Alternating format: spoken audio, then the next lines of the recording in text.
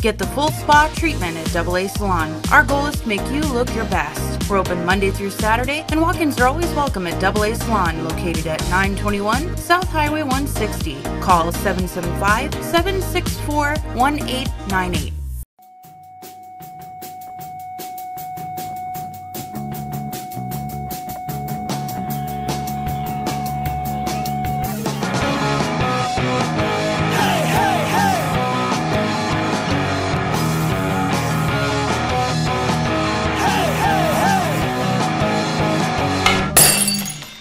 Time now for your News 25 look at sports and streaming at kpvm.tv and now on Roku.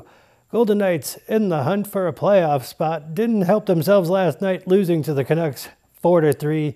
Next up for them, they play the Oilers in Edmonton tomorrow. Las Vegas Aviators, they welcome the Salt Lake Bees this evening.